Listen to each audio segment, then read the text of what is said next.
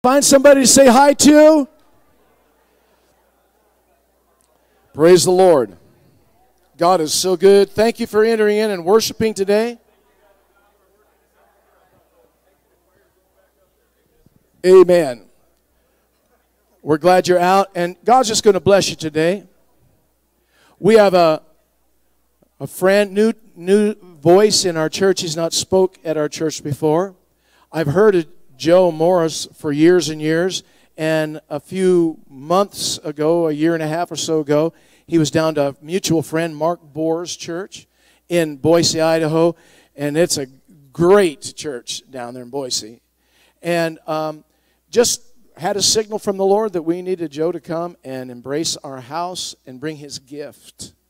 You know, we're not looking for a sermon topic, topic as much as we are looking for a download from heaven for our hour and our moments. Our prayer has been for him to have the exact word for our house, and I just believe God's going to fulfill that. Can you say amen? So uh, Joe Morris has been in ministry maybe his whole life. His he was, was sharing yesterday. His mom was a fanatic. She was, I, I, I won't, I mean, all out. I, think, I don't think he used the word psycho, but maybe he did. but she was psychologically hooked up to the Lord. They went to church every night for years. Every night. And those things got off on Joe. He's a profound uh, voice today in these last days of, about what's going on in this earth. How many know this? there's some things going on in our earth? It's crazy time. But you know what? God turns the world upside down, causes them to lose their mind so that His will will be done. So today, as Brother Joe comes, let's just stand and give him a, a welcome from Spokane Christian Center and allow him to speak into your life. Come on up. Praise the Lord. Thank, thank you, Pastor Rick. Bless you. Thank Have you. Appreciate way. it. Great to be with you. Thank you so much. Praise the Lord. Praise the Lord. Yes, I believe so. Praise the Lord. Thank you. No, no, no. You can be seated. Good to see you this morning. Uh, treat to be with you. I've heard about your church for years. I think I, I've known your pastors for years. Years ago, a minister I worked for would come through here, and I just missed being able to come with him one time. I think it was 85 or 86. But uh, uh, I've known about you guys, and I love your building, your location. You have a park. How cool to come up to your church and have trees like this is just beautiful. And to have a, a, a I can call it a harvesting barn for souls. Everything you're doing is about reaching people, and I I love your pastor's thought pattern just we get to be around each other and hear each other talk about the word uh, it's so good to know that we're saved so good to know we have authority so good to thank god we got in this i think about we were talking about my mother i call her my, my psycho mom word lady. Uh, a friend of mine a pastor in california said that i had a drug problem growing up. I did. My mother drugged me to church. But it's the incorruptible seed and when it's sown it grows up and it becomes. So uh, it, it is it, it's unchangeable it, it, changes everything. When it's sown, it grows up and it becomes. And I love your reverence for Jesus. You know, you come into a different church. I'm in a different church every week, you know, and I, I come in and I smell, what do I smell in your church? I smell a humility and a love for the Lord. There, there, there, I'm impressed with one thing is that a love for Jesus. And uh, if he be lifted up, he'll draw all men unto him. And so, just as Pastor Rick said, what a time to be on the planet when there's chaos and bad things happening, but there's no bad news for the church. I mean, it's amazing how the, the world is set up for some really radical times, and even the radical times for the world is really pressure to get them to make a decision. We think of the tribulation being a bad time. It really is, but some people are so hard headed, they need some uh, uh, activities to pressure them to, to turn. Thank God we've turned. Thank God somebody prayed for us and we're all here. We look back at how privileged we are to hear the word. I went to Bible school in 80, and before that, like I said, my mom hauled me around to all these meetings and privileged to be there to hear the word. And look how it's changed your life. You have a dominion about you, you have a victory about you, you have a joy about you. you know, in His presence is fullness of joy. I get around people, they go, I'm a real prayer. I go, No, you're not. You'd be happy if you prayed. Come on. Amen. Uh, there's something about his personality. He called himself the oil of gladness above thy fellows. So he called himself the life of the party. Amen. There is no depression in him. Oppression is far from you. Amen. So, uh, just privileged to be with you and exciting to try to get into some things this morning to show us where we are in time. Uh, it's, it is amazing that there's more verses written about right now than anything in the Bible. Now, think about that. There's more verses written about what it would look like right before Jesus came. Why would he do that? He wants us to have a heads up. Because you, you change the way you live. You change everything when you realize Jesus is about to come back. He even said this. He said, When you see these things, lift up your head, for your redemption is drawing nigh. So the whole thing is about you having a heads up. So he wants us to make some changes. We talk about my mom. My mom used to scare me so bad. She'd say every night, Hey, Jesus is coming tonight. And I'm like, Yikes. Well, it freaked me out as a kid, but I, you can either respond with humility or haughtiness. And we humble ourselves to go, Lord, what do you want us to do? We see these signs that point to your return. We see all these things happening in the earth that are a, a, a sign of how close we are. And that's what we'll get into this morning. Let's look at the scripture. You know, uh, we've had a weird thought pattern that you can't tell when the Lord's coming back. But actually, there's all these verses written about it to help us. So we'll get into this this morning. So we're very, very privileged and blessed. So grab your Bibles if you would, and you just turn wherever you think to turn. We'll see if you're flowing. Praise the Lord. Now, why don't we go to 2 Peter and we'll start with chapter 3. I wish Colleen, my wife, could be here with me. She's back in Tulsa. Uh, we have a daughter that's married, 30 years old, so we're blessed. Colleen runs our office, and uh, she hasn't got to go with me a lot lately, but she sends her greetings from Tulsa. Let's pray and we'll get right into the Word. Lord, we love you this morning. Thank you for, for what you've given us over the years. We're, we're appreciative. We have a thought pattern of gratefulness. Thank you for being raised from the dead. Thank you for overcoming death, hell, and the grave. Help us, Father, in this hour, walk in the full measure of what you left us 2,000 years ago. I thank you that the households are blessed in this church, that the kids are blessed in this church, Lord. Everything they set their hand to would prosper. And Lord, we, we, we come to you today uh, receiving your word to change us and alter us. Prepare us for these last days. Prepare us to do your bidding. We, we cooperate with you, Father, in this hour so that you would make every person in this room a mouthpiece, a spokesman for God. Use them, Father, right before you return. We thank you for it. And Lord, we know as we get into these verses, we'll see you today, high and lifted up with your train filling the temple. We lift you up as the King of kings and Lord of lords. We magnify you, honor you, Jesus, in this room. Receive the honor that's due your name, Jesus. Amplify your voice from this location, Lord. We thank you for what you've spoken over this church, Lord, over the years. We thank you for, for the fulfillment of everything that was prophesied over this house. We thank you for great grace upon every believer. In Jesus' wonderful name. And everybody said, Amen.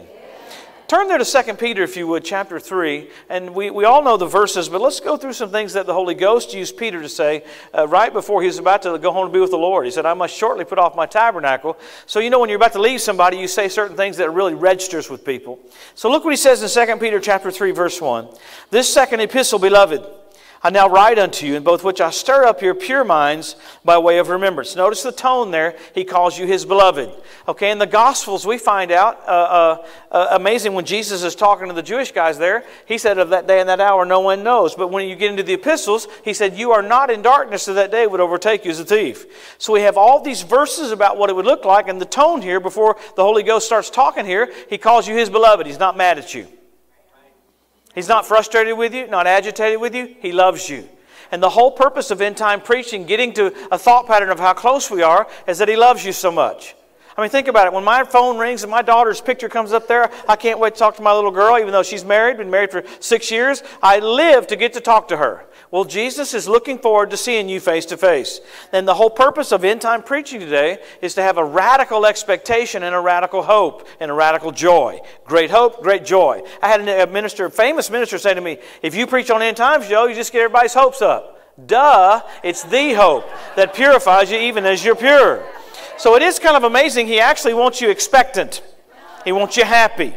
And once we get into it, we, we've been taught wrong that we can't tell when the Lord's coming back, yet there's more verses written about it than anything in the book. So let's get into this. So he calls us his beloved, and he goes down a little further there. He said that you'd be mindful of the words that were spoken before by the holy prophets and of the commandments of us and the apostles, the Lord and Savior. Knowing this first, they'll come in the last days, scoffers, walking after their own lust saying, Where is the promise of his coming?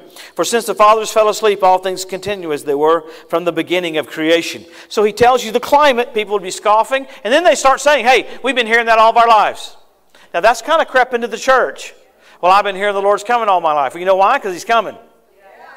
Well, look at the next verse. He clears things up for us. The next verse that, that, that, for this they willingly are ignorant that by the word of God the heavens were of old, and the earth standing out of the water and in the water. In other words, they forgot about the flood. Change came when no one believed a change was coming. And you feel that right now. People go, well, you know, things are just going to continue. No, they're not going to continue. Jesus is coming back.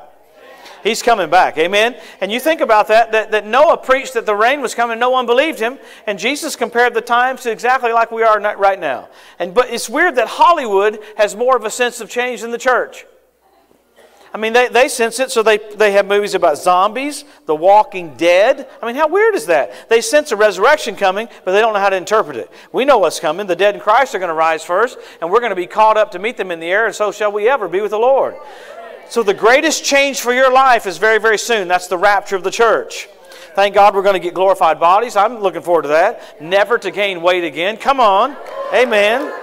If you can't get excited about it, get excited about that. This mortal is going to put on immortality. We've borne the image of the earthly. We're going to bear the image of the heavenly. I mean, what a radical change to all of a sudden have a body that's fashioned like unto His. I'm in. Hallelujah. Never get tired again. I'm quickened right now and I'm enjoying millennial blessings right now, but I'm sure looking forward to never gaining weight. See, my weight is perfect. I'm just not the right height.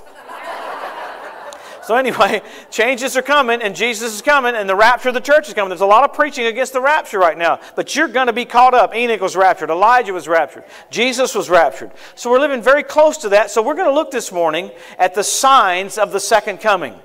Because the rapture is signless, but the second coming has sign after sign after sign after sign. So if we can look at that, we can go, wow, the Lord's about to come back. Why would He do that? It's just like in football. When you come to the two minute warning, you change everything. Could you imagine being in the Super Bowl, two minute warning, and you go back to the huddle, and the quarterback goes, I need you to go long. You go, oh, my knees are hurting. Really? Your knees are hurting? This is the, come on. So you, you, you've got to get that thought pattern that he's about to come back so we make changes and He wants you supernaturally excited about seeing Him. I don't know what the protocol from going to faith to sight is, but my friend, these songs that we sing where we honor Him and we bless Him and we magnify Him, all of a sudden we're going to be caught up and you're going to stand before the King of Kings. Come on, eyes as the flame of fire, feet like undefined brass, voice of many waters. My friend, the, the, the, the, the preparation for that, that's pretty radical. And really, the Lord compares it to a wedding. How many of you are excited the night before your wedding? Come on. So there should be an excitement in the church. You're about to see him face to face. So let's look at some other things that show us here. I mean, there's so much you could get into, but I want to buzz over to Isaiah for a minute, and it'll give you an indication why we preach on end times. So look at Isaiah 46, and let's go through this for a second. Isaiah chapter 46, look at verse number 9. It's page 819 if you got a Bible like mine. It will be cool. We all have the same Bible. Praise the Lord. Look at Isaiah 46 if you got time to go over to verse 9. Isaiah chapter 46, verse 9. Remember the former things of old. I'm God, there's none else. I'm God, there's none like me. Declaring the end from the beginning, and from the ancient times things that are not yet done, saying, My counsel shall stand, and I will do all my pleasure. Pretty wild. He said, This is how you can tell this book is authentic. I'll tell you what's going to happen before it happens. So Lucifer fights end time preaching because it gives authenticity to the scripture. He said, This is how you tell I'm God. I'm going to tell you future before it happens. Ezekiel prophesied the very year Israel be made a nation. Happened exactly as he said. Gabriel told Daniel the year Jesus would come the first time came exactly on the right date. Because this is how God said, This is how you can tell I'm God. Now hang with me. No other religion can do this. You can talk to a Buddhist, you can talk to a Muslim, their book doesn't give you future. Th this is the only book that tells you what's going to happen before it happens. Now, listen to this. This is a lot of info, but run with me mentally for a minute. Listen to the first 10 names of guys in the Bible Adam means man, Seth means appointed, Enos means mortal, Cainan means sorrow, Mahalaleel means the blessed God. Jared means shall come down. Enoch means teaching. Methuselah means his death brings. Lamech means despairing. And Noah means rest. Listen to them put together, the first ten names of guys in the Bible. Man is appointed mortal with sorrow. The blessed God shall come down teaching that his death brings the despairing rest. Gives you the entire plan of redemption with the first ten names of guys in the Bible. Because he says, I'm God. Now he's watching over his word to perform it. Oh, come on. We're, we're, we know where we are in this church. You're redeemed from the curse of the law. Come on. He's already presented you holy, unblameable, and unreprovable in His sight. Come on. So, so we, we have a dad that's flawless, and you're watching the earth. Once we get into all the signs, you're watching everything in the earth get ready for what happens right after we leave. I mean, it's amazing. They asked what the Lord's going to look like. They're Jewish guys, so Jesus told them the tribulation is a sign of his coming. Seven years of, of signs. Now, in high school, when I was dating girls, I would take fireworks with me, so I would pull over and shoot fireworks off. So I'd say, hey, you can't say you didn't go out with me and didn't see fireworks. Praise the Lord. You do whatever you got to do. Hallelujah. Amen. I didn't do it once, I did it many times. Well, the earth's getting ready for seven years of fireworks. God's going to get people's attention. You're going to have asteroids hitting. You're going to have water turn to blood. You're going to have all this stuff happening. But, but you're watching the setup for the Ezekiel 38 war, uh, and we're not even in the tribulation. You're watching Russia's gone into Crimea. Russia's gone into the Ukraine. Putin quoted Hitler twice, and not one world leader said a word. And now there's Russian military bases all over Syria that are helping Iran. You've got Russian equipment every single day coming into Syria because the Bible says right after the rapture of the church, Russia is going to invade Israel. The setup is happening for it right now. So we're very, very, very, very privileged that we can connect the dots. So what does that tell us? That tells us we're about to see Jesus. So, so an excitement, and it's also uh, a kick in the pants to do the will of God. Like, wow, there's the finish line. Let's run faster, not slower. You know, my daughter in high school, we're going to get to all the science here in just a second, but you know, my daughter in high school was a cross country runner. She would train and train and train and not even get tired, freak me out. I would train with her on my motorcycle. I'd run right beside her, and, and you know, I would be tired, tireder than her after me riding, and she's running. You know, and she, she did that so that when she's in the races, she wouldn't get fatigued. I'd go to her cross country events, you know, and I'd stand there at the first mile marker. She'd come running up, How far, Daddy? How far, Daddy? Lauren, you got two more miles. Pace yourself. I'd go around to the other mile marker. I'd stand there. She'd come running up, How far, Daddy? How far, Daddy? I go, Lauren, you got two more miles. Another mile. You can do it. You can do it. Save your energy for the very end. I would get to the last mile marker. She'd come around the corner. She wouldn't say, How far, Daddy? She saw the finish line, and she, her, her, her change in her face was so radical. There's the finish line. All that training's for right there. I'm screaming, Run, Lauren! Run, Forrest, run! You know? So, so the training wasn't to come to the end to chill. The training wasn't to come to the end and just kind of, well, that's interesting. No, the finish line makes you pick up the pace. Now, we're living in a day when people are casual about church. This is about being adamant about church. He said, Forsake not the assembling of yourselves together, as some would do, especially as you see the day approaching. We're going to get into about, about 10 or 12 signs. There's about 50 that show us we're watching the, the, the preparation for the entrance of God Himself to come back to the planet. The Bible says the mountains are going to vibrate and break at the second coming when creation all of a sudden meets the Creator. Oh, come on. You talk about an entrance. The heavens are going to fold away and there'll be no light. And all of a sudden, the brightest light you've ever seen or ever will see, the glory of God in the face of Jesus is going to radiate and come right back to this planet. And every knee's going to bow, every tongue's going to confess that He's Lord to the glory of God the Father. So we're, we're watching the setup for it, so we're very, very privileged. Now, hang with me. Go to Luke if you would. Let's talk about this for a second because it's very, very precise. Look at Luke 21 and go over to verse 24, I want you to think about this. I know it's a lot of info, but think about the precision of the first coming of the Lord. How many of you in school didn't like trigonometry, didn't like algebra, didn't like geometry, and then it went to statistics? Wasn't that crazy when it went to statistics? Uh, I can't even say it, it freaked me out. But anyway, uh, listen to the odds of the, of the preparation of the first coming of the Lord. Listen to how precise this is. It was prophesied that Jesus would be born in Bethlehem of the tribe of Judah. He'd be preceded by a messenger. He'd be given away for 35 pieces of silver. He'd be thrown into a potter's field. They would crucify him. He would be crucified in between thieves. He wouldn't open his mouth before his accusers. They'd gamble over his robe. They'd put a crown of thorn on, thorns on him. They'd pierce him in his side. I like this one. This one's pretty hard. It got dark in the middle of the day while he was crucified. You know what the odds are of all those prophecies coming to pass in one generation? It's 480 trillion times a billion. It's 480 with 33 zeros afterwards. Even in science, after so many zeros, it's absurd to think that it happened by chance. Okay? For every one verse there is about the first coming, eight times more about the second coming the flawlessness of the first coming, and you're watching the earth get set up for the second coming. So let's go to Luke here and look at this. So there's eight times more verses about this, why would God do that? So that we'd make some changes in our lives. Jesus is just about to come back. So look at Luke 21. Grab your Bibles there. Look at Luke 21. Look at verse 24. We're going to run through the signs because the, the signs will preach to us how near we are. You know, if you're driving into Spokane, maybe you're 100 miles away, you're on a freeway, maybe it's I 90, uh, uh, and the, the sign says 100 miles from Spokane. Next sign says 80 miles from Spokane. Next sign says 50. Next sign says 40. You don't freak out go, I'm never going to make it to Spokane. No, the signs told you you're going near Spokane. Okay? Once you get into Spokane, you don't need signs anymore. You got signals. You have traffic signals. We're going to look at signs today of his return, and then it goes to signals. You're done with the signs. They're all there, and you've gone into signals now. And the Lord's so wonderful and so sweet. He's, he's basically saying, Hello, heads up, I'm about to come back. So look at Luke 21, look at verse 24. Jesus speaking here said, They'll fall by the edge of the sword, and shall be led away captive unto all nations. And Jerusalem shall be trodden down or overthrown of the Gentiles or nations until the times of the Gentiles are fulfilled. Now that's pretty radical that Jesus tied everything to a city being won back. He said, when the, when the Jews get Jerusalem back, time's up. That's pretty wild. When did that happen? 1967.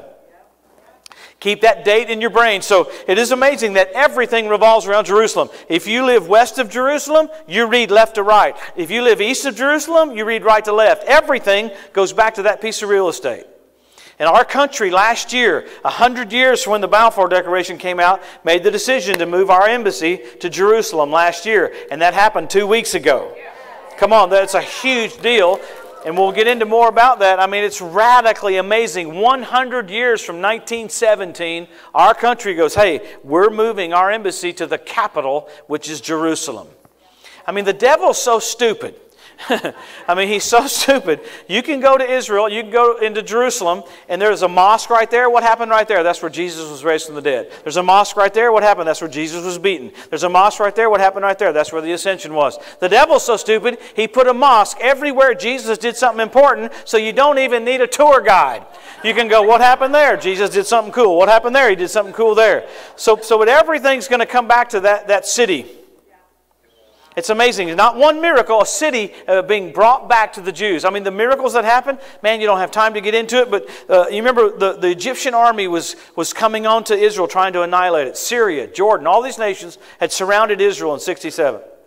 Egyptian armies barreling down on Israel, 88 tanks. One Israeli guy, he was a cook. He said, You know what? If I'm going to die, I'm going to go out in style. He figured out, could you imagine trying to figure out how to fire shells out of a tank all of a sudden? He jumps in the tank, goes, Okay, how's this work? You know, he's messing with the, I mean, just trying to figure out how to fire shells at 88 tanks coming at him. Starts firing shells. Fires another shell, fires another shell. Eventually, the, the Egyptian commander waves a flag up in the morning and said, I'm surrendering to the highest ranking officer. The Israeli guy looks around and goes, Highest ranking officer? It's just me.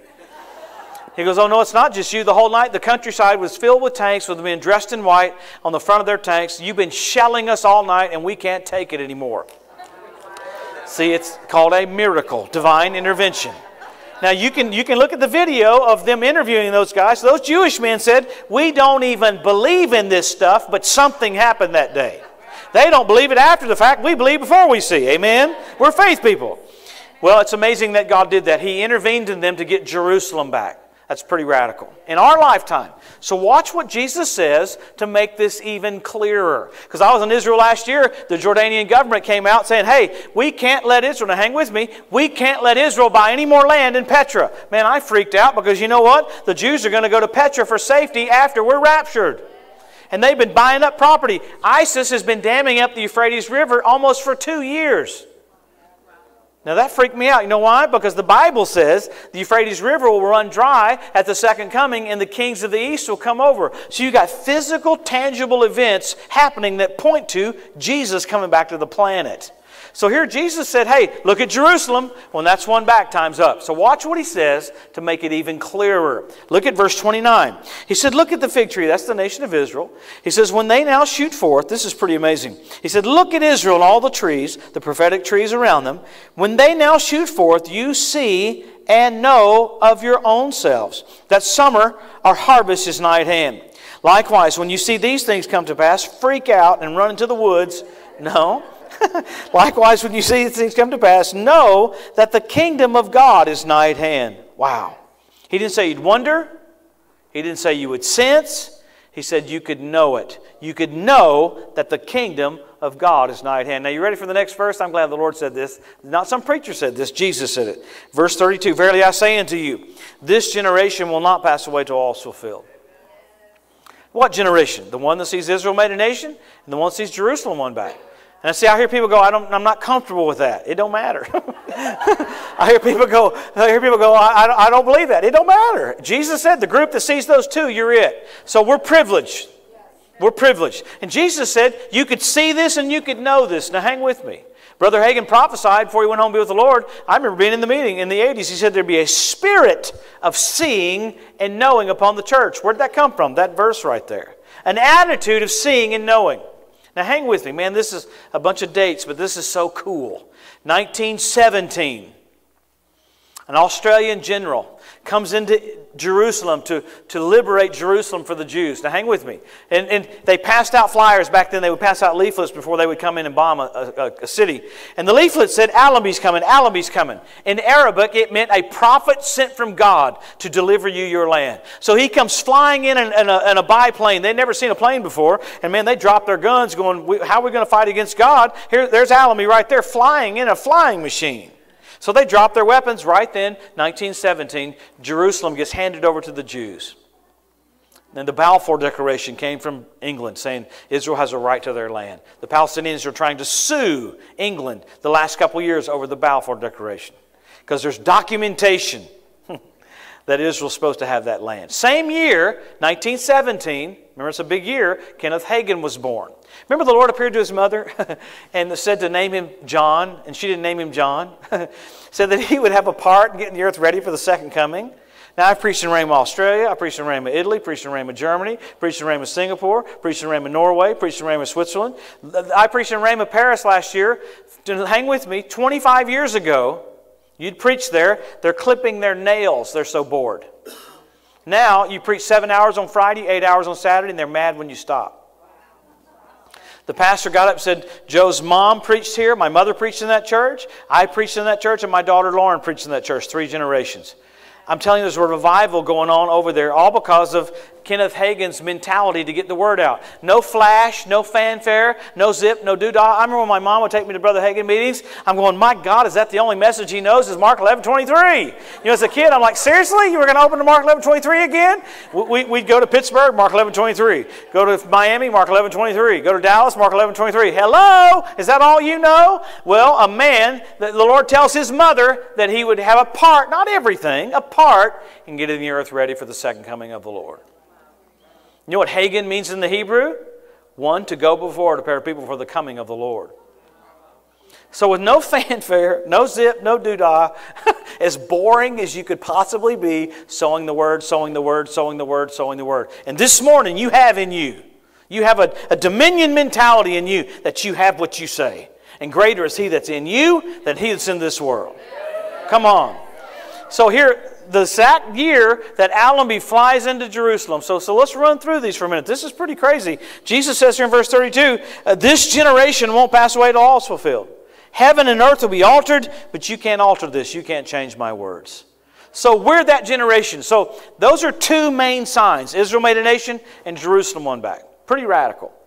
So let's go through some of the others because there's so many. It's so cool. Let's just quickly go through them. I know it's a lot of information, but it shows you how wonderful the Bible is. Amen. What's the next sign after those? The Hebrew language restored. The Bible says, right for the coming of the Lord, He'd restore to them a pure language. A hundred years ago, no one spoke Hebrew. Now they all speak Hebrew. It's a miracle. I was there one time in 2001. Now, I'm a hillbilly from Louisiana.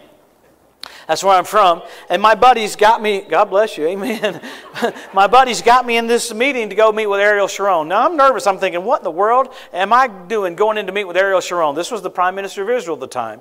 So I'm nervous, you know, and I'm sitting there going, man, this is weird, this is weird, this is crazy. I mean, there's the black and white pictures of Golda Meir, Yitzhak Rabin, you know, all that, the leather chairs. And I'm going, what am I doing going in here? So I thought, well, I'll get me a pencil with some Hebrew writing on it, you know, for a souvenir. I grabbed the pencil and it was made in Iowa. I said, that's not cool, man. I want a, I want a Hebrew pencil, you know. All of a sudden, I could hear them walking down the hall. I can't do it, but they're speaking perfect Hebrew. Hundred years ago, no one spoke Hebrew. Now, they all speak Hebrew. You should Google that. You know when that's happened before? Never. Never has there been a language lost like that and recovered, happened in your lifetime. You can't find anybody speaking Hittite. You can't find anybody speaking Amorite. You can't find anybody speaking Canaanite, but you can see the footprint of the Jews. Come on, well, the pants that we wear. Uh, a man named Levi had a bunch of fabric building tents, and he said, We got too much, too much fabric for tents. Why don't we make some blue jeans? Hallelujah. Amen. So we see the language restored when? In our lifetime because the Bible said it would happen right before the coming of the Lord. All right, let's look at the next sign. The next sign is pretty big the Ethiopian Jews brought back. Okay, because God said He would do this right before the coming of the Lord. So the C 130s flew from Israel right down into Ethiopia, and 18,000 of them were airlifted in one day. Now, Chuck Roberts on Headline News, listen to this. He said, An Exodus that eclipses the book of Exodus. When you've got an unsaved man on CNN News preaching about how cool it is that God brought them out in one day greater than the Exodus in the Bible, hey, Jesus is coming back. Come on, I mean, he didn't go, he didn't go, my God, but he, but he said it just like that. An Exodus that eclipses the book of Exodus. book of Exodus was a pretty cool deal. The waters of the sea were congealed and they walked right across. Because God said, I'll do this right before I come back. So you got Israel regathered as a nation. The miracle of that is amazing in itself, the fig tree budding. Hitler killed six million Jews right before the fig tree budded. Lucifer thought, if I can keep the word of God from coming to pass, but he couldn't keep the word of God from coming to pass. So you got Israel brought back as a nation. You got Jerusalem won back. You got the Hebrew language restored. You got the Ethiopian Jews brought back. What's the next one we can look at? These are tangible, physical things to show you Jesus is about to come back to the planet. All right, the next one would be the revival of the Roman Empire. Now that's pretty, pretty right in our face. That's called the EU, the United States of Europe. Last year I preached in Norway, flew from Norway to Nice. They don't even stamp your passport. I wanted that stamp on my passport. It's really cool. It says Cote d'Azur on there. They don't even do it anymore because it'd be like going from Washington into to Montana. You don't have to go through passport control to get into Montana. Amen. So the EU is a nation that's come together, revival the Roman Empire. They said we felt like Romans on that day. All right, now the, it's the platform for the Antichrist. Okay? Here's some homework. Sunday morning, you can go get on your computer and Google the Capitol building in Strasbourg, France. It's not similar to the Tower of Babel, it's identical to the Tower of Babel. It's that system. We'll build our own way to heaven. No, you won't. Jesus is the way, the truth, and the life. Google it today and look at it. It's not similar to, it's identical. You can look at the markings inside the building, they're all from Nebuchadnezzar. You can look at the art out in front of the building, and it's a molecule of iron magnified. Because Daniel saw iron and clay. you can go even crazier. You can look at, you can ask them, talk about the computer inside the building. It's called the Beast. it's crazy. Look at, look at CERN, which is a company right outside there. It's called, they have a particle collider. They're looking for the God matter. right? And guess what? Look at their logo. Google it. CERN, C E R N. Google it today. Their logo is 666. You think someone would have gone, hmm, that's not really what we should put as a logo for our company. Amen. But you're seeing all these tangible physical things that point to his return. That's pretty radical. Okay, after that, you've got the Temple Mount Institute. That's a group of Jewish men, hang with me, that have come together. Their last name's Cohen. For 25, 28 years, they've been gathering up all the instruments for sacrifice. Now, get ready for this. This last April, they had a sacrifice on the edge of the Temple Mount and didn't get arrested. The police let them do it. The year before, they got arrested. They're ready. Now, hang with me. You got Jewish men. They're not born again yet. They haven't accepted Jesus as their Lord, but they've moved into position to have everything ready for what happens after we leave. Now, hang with me. If Russia can move into position, if God can move Jewish guys into position, if all these other nations get into position, what's the church doing? Come on, I, God's not near me, He's in me. Amen. So there, there, should be a heads up in all of our lives that, wow, if all these other entities are getting in position, how much more me? Now, now hang with me. There's, there's, there's so much more because I want to get into it, but I don't want to, I don't want to overwhelm you. But hang with me. I was watching the Animal Planet channel years ago. Now I'm an ESPN guy. I'm not an Animal Planet channel. I think I've never even seen the Animal Planet since then. Israeli ornithologist. She's on there. She, now, the only reason I know what an ornithologist is, it's a bird specialist. My brother was an ornithologist. Went to college for nine years. Studied birds. My dad said, "What do you learn? What did you learn?" He said, "I learned how to play poker." but anyway, nine years of college for poker. Praise the Lord. Amen. Money well spent. But anyway, so I'm listening to this ornithologist. She said it's the largest gathering of predatory birds ever in history. She said, We got 172 different species of predatory birds start showing up in the land of Israel. Man, I freaked out because I know exactly what the deal is. After the Ezekiel 38 war, he calls on the fowl of the air to come clean the land up. Seven years later, after the Battle of Armageddon, he calls on the fowl of the air to come clean the land up. You've got the cleanup crew in Israel right now. Now, see, if you got nature moving into position, Russia moving into position, Jewish men that are at, ready for the Temple Mount moving into position, what's the church supposed to do? This is basically what the church doing. Well, good to see everybody. God bless you. No. I mean, the church is looking. I have people after preaching on, on all the signs, they'll go, Well, you know, you can't be really bold about this, looking for reasons not to obey God. I'm not looking for reasons not to obey God, I'm looking for reasons to obey God. Come on, His mercy is amazing. You know, hang with me. I was preaching in Hartford, Connecticut. Listen to how, how merciful He is. Hartford, Connecticut. Matt Nallett's the pastor's name, a Rhema graduate.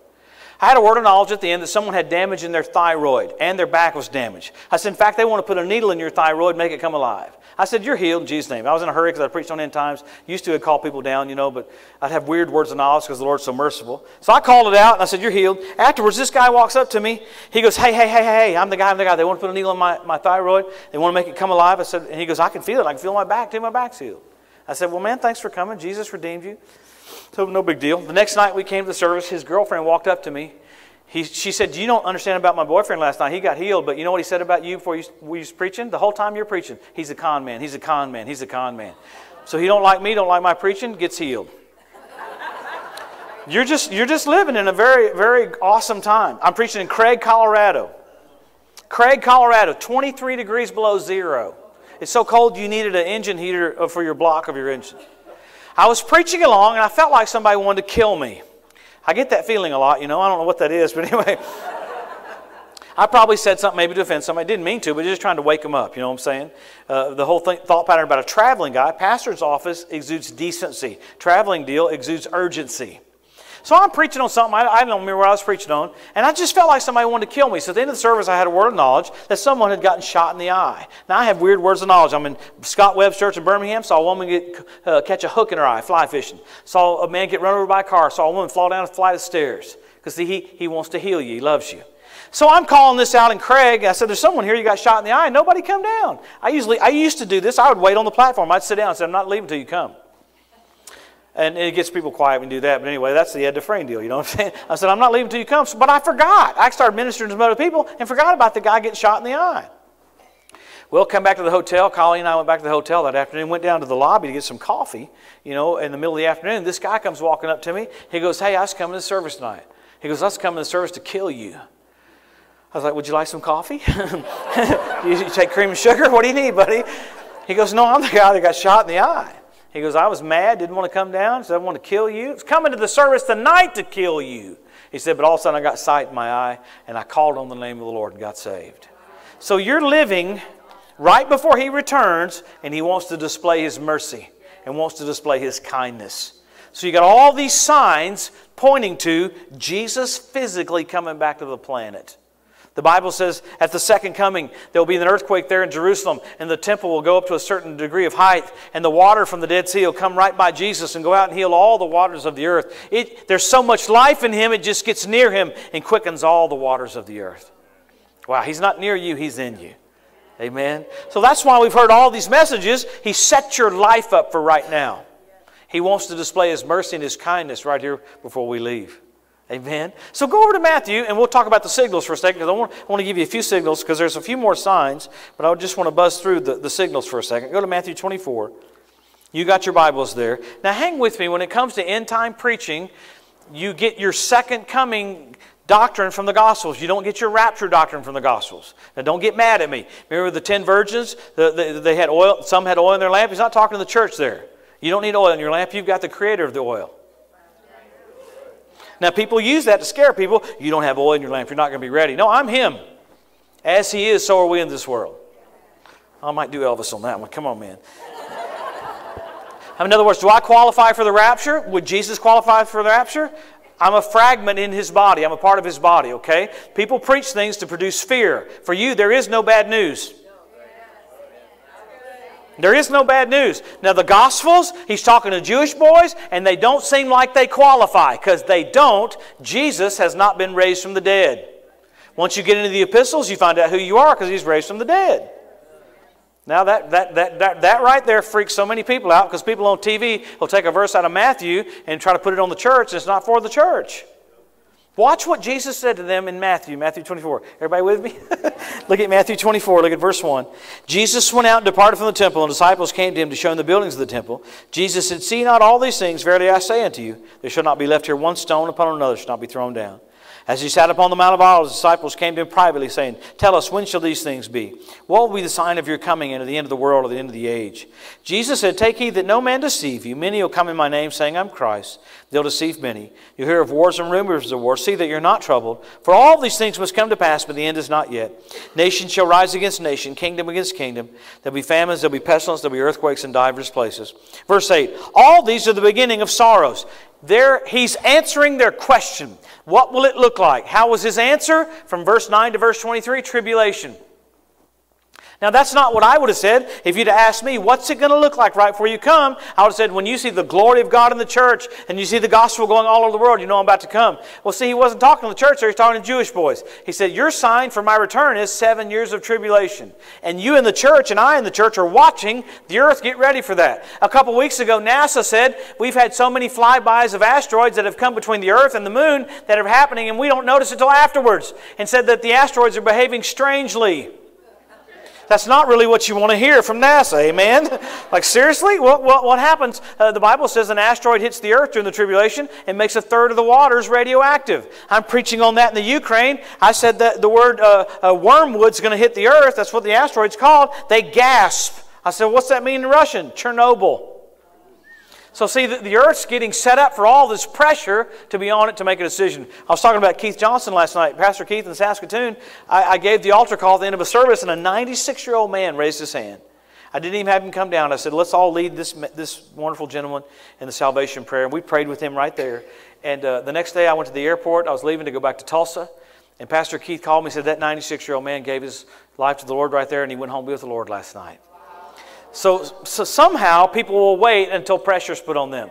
My dad had a stroke. He mocked God his whole life. He got saved on his deathbed. He, he didn't turn till the very end. So the Lord is so merciful, He's going to put the pressure on the earth for seven years. I mean, people are fishing during the tribulation. We're not catching much. Well, duh, the water turned to blood. So it's, it's not going to be. People aren't going to be able to go. I had no idea. They're going to have a heads up. Because see, this stuff is real. I was in Israel one time, and I'm going to give you the signals right now, but I'm preaching too much. I'm going to give you the signals before we go. I was in Israel one time. I was in the Garden of Gethsemane, and that's where they just were right here. That's the, the, the olive press, is what Gethsemane means. That pressure was going to be on him to be separated from the Father. And I'd taken a tour over there to meet up with another tour, and the lady in her tour, she said, Hey, Joe, I want you to do communion. Well, I couldn't remember where the communion verses were. I freaked out. I mean, I know it's 1 Corinthians 11, but I was like, oh man, where are the communion verses? You know? So I'm standing there in the Garden of Gethsemane. I look up at the Temple Mount. You see all the, the foundations of the temple, and it's just amazing. You go, well, okay, there, there's the capital of the universe forever. So I'm freaking out because I can't remember where the verses are. All of a sudden, I had an open vision. Remember, it's okay for me to have a vision. I'm a young man. Young men see visions, old men dream dreams. I've been having tons of dreams over the years, but anyway, I've switched over to old. But anyway, back then I was young. I had an open vision. It's called discerning of spirits. I saw angels and demons all over the Temple Mount. And I, you can just tell it's the most active area of angels and demons on the planet.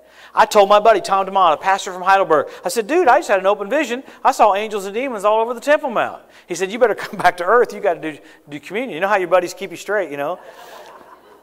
Well, the lady that was running her tour, her tour, she said, hey, there was an old prayer here named Phil Halverson. Phil and Fern Halverson were old prayers.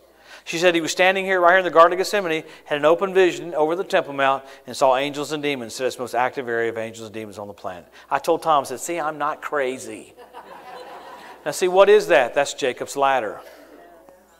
See, we think of some old rickety ladder. No, it's a location called Jerusalem where angels are going back and forth because this stuff is real.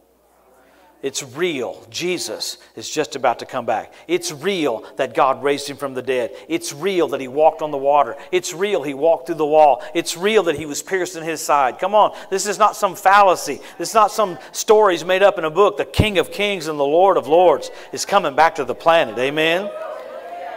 I mean, think about it. This next sign, think about it. Aerosmith Steven Tyler got born again. Listen, when, when Aerosmith's getting born again, you need to lift your head up. Jesus is about to come back. Guess who got him saved? Uh, uh, Lenny Kravitz, the guitar player, led Steven Tyler to the Lord. When, when Lenny Kravitz is being an evangelist, Jesus is about to come back. How many signs do you need?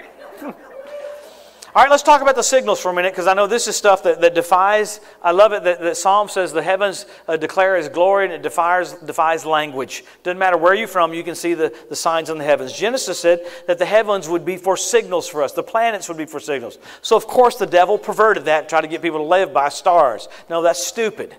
Well, let's, let's talk about what God's doing right now as far as signals go. Last year and the year before, you had blood red moons on Passover and tabernacles. Okay, that's pretty radical. What's Passover? That's when he died for us. What's tabernacles? The second coming, when he's going to come back and tabernacle with men. Now that's pretty radical. I died for you, I'm coming back. I died for you, I'm coming back. When's the last time you had four in a row on Passover and tabernacles? 1967 when Jerusalem was won back. 1948 when Israel's made a nation. 1492 when the Jews were kicked out of Spain, the Edict of Expulsion. So you got the heavens signaling on, on exact dates. The gap between the last two years was 19 years and 48 years, the exact year Israel's made a nation. I told the Lord, I said, oh, come on. I mean, how, how crazy is that to be that blatant? It's getting pretty blatant. Then after that, you had, you had uh, uh, solar eclipses on Nisan 1. The sun went down directly over the Temple Mount at sundown. The coordinates for the Temple Mount, the sun goes down right there. You had Mercury do a flyby of the sun.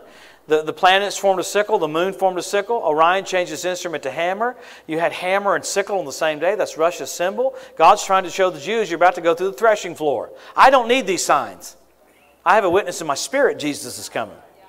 But I'm not going to be stupid and go, I don't believe any of the signs. No, they're, they're, they're radical right in front of our face. You had the Bethlehem star last year. You could really see it here in Spokane better than anywhere in the country. First time in 2,000 years. Now, what's the Bethlehem star? Jupiter, king star. Regulus, regal, king planet. They did retrograde motion over Jerusalem at the birth of Jesus. You had Venus, men are from Mars, women from Venus. Venus is a mother planet. All three of those planets came together at the birth of Jesus. You had the Magi from Iraq uh, come to his birth riding on a camel for 700 miles. Can you imagine them talking to each other? Are you sure a king's going to be born? This is a long ways to go by camel. Come on. I mean, my buddies would have messed with me the whole time going, there better be a star like we ain't never seen a star. Come on, there better be something. Well, all of a sudden you saw Jupiter, Regulus, and Venus come together at the birth of Jesus. The constellation was Virgo. Last year, NBC Nightly News said we have a celestial event. We got Regulus, we got Jupiter, we got Venus. I'm like, man, I know what that is. That's the Bethlehem star. First time in 2,000 years. So you've got blood red moons, you got the Bethlehem star, you got Mercury, you got all the stuff. The Lord's so merciful, He's going like this. You got signals. So Jesus is about to come back. So what do we do as believers? We hustle. What do we do, believers? Pastor Rick says, you know what? We're going to paint, flaming stripes in here. I'm going to get a Batman outfit and I'm going to fly in like Batman. And we're going to, no, I'm just kidding. Come on. no, it's just the time, just like in a race, when the white flag goes out in a car race, you don't go, oh, wow, we got one lap left. No, people jump up and go crazy. Have you ever been to a car race on the last lap? I've, I mean, people that are quiet the whole race start screaming the quietest person at the race when the white flag goes, woo, let's see what happens. I mean, even the drivers go nuts. They, well, they don't care about blowing their engine. This is it, the last lap. How many signs do we need before we figure out this is it?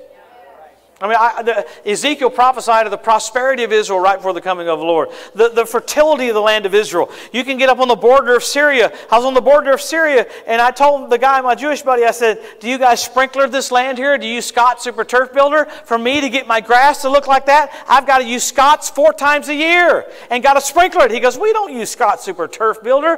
God's Word said, I'm going to bless the land so much that you can see where Syria is, it's brown, and where Israel is, is lush green. Israel's the only nation that has more trees since, of any nation, since they've been keeping count. Because God said, I'll bless the dirt. I mean, Lucifer named the, renamed the land Palestinians, Palestine. There are no such things as Palestinians. That's a word that says you don't have a covenant. Remember, David told the Philistine, uh, Goliath, Who is this uncircumcised Philistine? He doesn't have a covenant. He mocked him. Who are you? He's pretty big, pretty big giant. So the devil renamed the land saying, You don't have a covenant because God said, I'm giving you this land. And the land is prosperous and blessed. We didn't, we didn't even get into all that, but the fertility of the land of Israel. Mark Twain said, he was there 100 years ago, said, The land is so desolate, it won't support life. Israel produces 90% of the fruit for all of Europe. You eat an apple in the morning, made in New Jersey. Eat a pear, made in New Jersey. Eat a grape, made in New Jersey. Man, what's up with New Jersey? Israel's the size of New Jersey, but produces all this for, for, for Europe. So you've got tangible, physical things that point to his return.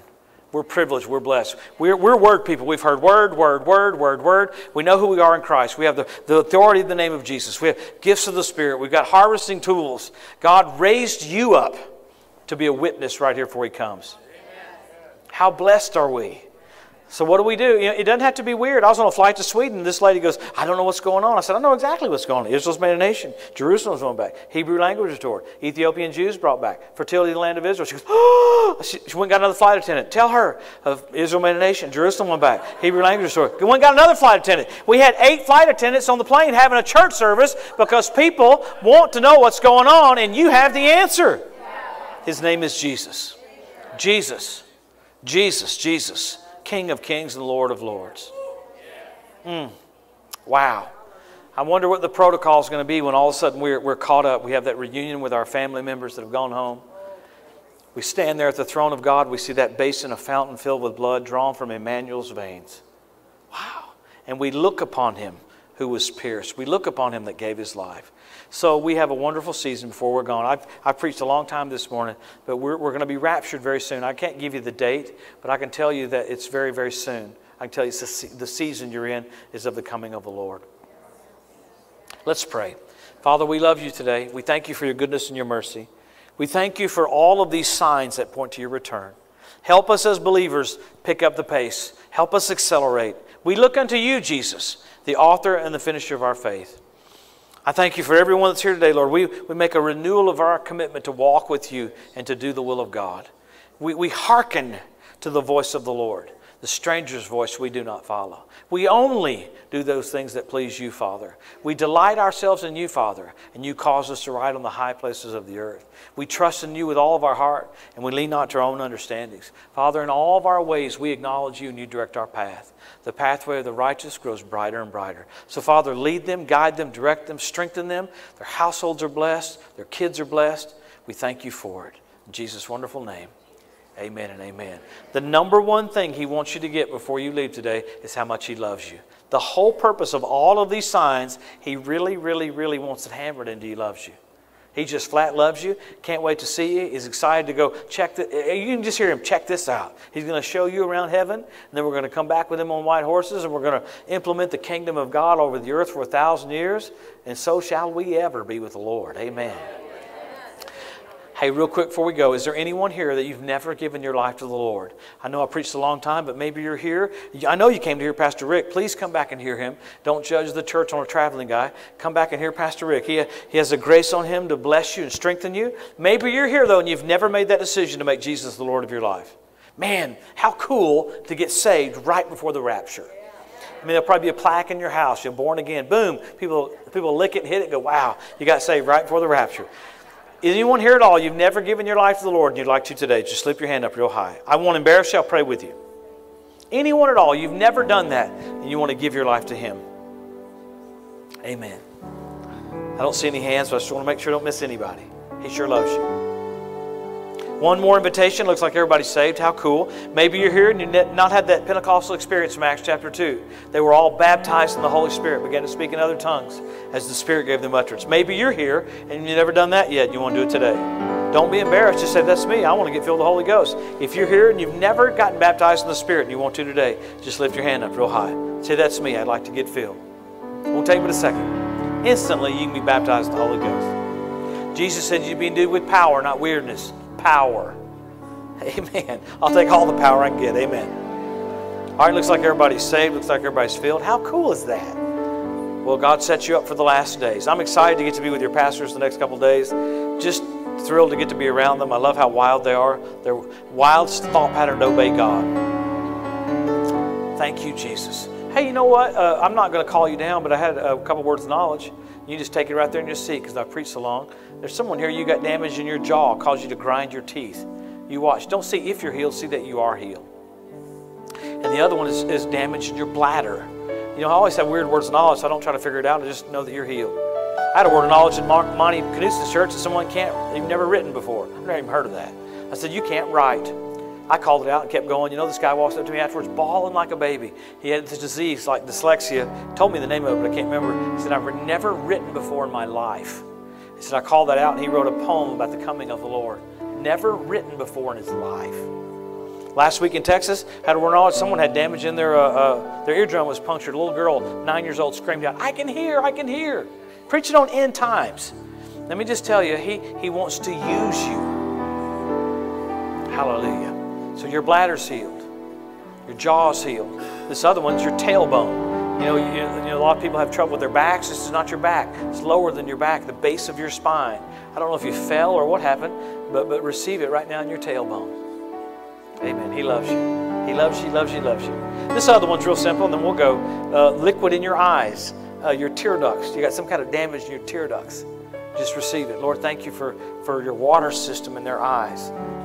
Thank you for restoring them. Thank you for it, Lord. We, we appreciate that. In Jesus' name, amen. Hey, thank you, thank you, thank you guys for coming. So soon we'll see him. And we got great things to do before we leave the planet. And I'm sure blessed to be with you. Have a great summer season. Happy Memorial Day weekend if you're a veteran. Bless you, strengthen you. God bless you. Have a great time this weekend. Look forward to seeing you real soon. Give Pastor Rick a big hand, big hands he comes. Pastor Rick, thank you, sir. Great to be with you. Thank you, sir. Oh, bless you. No, thank you. Great to be with you. Amen. How many appreciated that? This is pretty fascinating to know that we are on God's clock, not Earth's clock. You know, and and I remember growing up in church, and some of the things he alluded to, that a lot of ministers they just just scared the hell right out of you. Yeah. yeah. When you had that kind of experience, they came in just to frighten you into heaven. Yeah. You just, you just run, hey, I'm not, I don't want to go to hell. But I'm telling you what, there's an invitation. There's an invitation to the throne room of God and a yes. relationship with God. You don't have to be afraid of end times. You, we should be welcoming it. Yes. We should have an anticipation for this. Yes. Praise the Lord. I appreciate the gift. How about you guys? Amen. How, how many were ministered to today? And I, I just I got every fact down that he shared today. Just no, you know what? You can go to our web page and you can re-listen to this off of that, and you can go pick this up this afternoon on on the the uh, live stream record of that thing. Share it with somebody. Tell your family about it. You, you can say this is how you go do it. If you've never unloaded the app, that's why we have the app so you can read, because there's no way that you can catch every nuance that was shared, and I believe phenomenal. I appreciate, I appreciate gifts like Brother Joe that are called it. This is what he preaches on all the time, and, and I really appreciate it. How about you? And you know, he doesn't pastor church. He doesn't have you know big organizations and things. He he survives and and works and carries this message all over the world because people give. And so let's get ready to, to give a love offering to Brother Joe to appreciate. If you appreciated it like you gestured, then give accordingly to it. Be a cheerful giver. You know, you don't give because you can afford it, you give because God has empowered you to do it. We don't give because, you know, we're emotionally do- doing. If you're emotional, great. If you got an inspiration, great. But you give because you love God's word and we love what God's doing in the earth. So there's an envelope near you, and if you want to, you can put things. There's there's text giving and things too. And we're going to make all all of this will go to Brother Joe, and to bless him, and uh, supply for him to be able not only bless here, but go on to the next place. Uh, we have pastors coming in this afternoon, and this evening we'll have 40, 50 thereabouts coming in, and tomorrow we have a full day with that. You can pray for that. These guys come in and they're going to get the first, some of them the first encounter with Brother Joe and their ministry. We're going to minister to the ministers so they can go and minister to people. Can you say amen to that? Listen, remember all of those things that we have coming up. They're not to just occupy your time. This isn't a you know a variety TV show. We're doing these things to change the world. You know, come to these events we have. Invite friends. Invite people to church. Invite people to come and listen. Invite them to, to, to the live stream recordings and things. And let's get everybody that we can to be ready to go when the Lord returns. Can you say amen? Amen. God, today, I'm so thankful for our time together. I'm so thankful, Father God, for your spirit that's drawing us closer to you and taking all these wonderful different gifts that you have placed in the church. You praised apostles, prophets, evangelists, pastors, teachers, helps to prepare us for our entrance into heaven and your return. We uh, set all of these things before you. Bless the hand that gave. We pray for Brother Joe. We pray for our, our pastor's events coming up. And just thank you, Lord. Our coming events are just going to be supernaturally touched by heaven. We pray that in Jesus' name. And everybody said, Amen. Okay, let's give the Lord one big hand clap again for Brother Joe coming our way. Amen. Amen. Let's stand on our feet and just turn around, shake hands with a couple people. Make sure I'm so glad that you came today. And you go home blessed. You go home and have a great Veterans uh, holiday. In Jesus' name.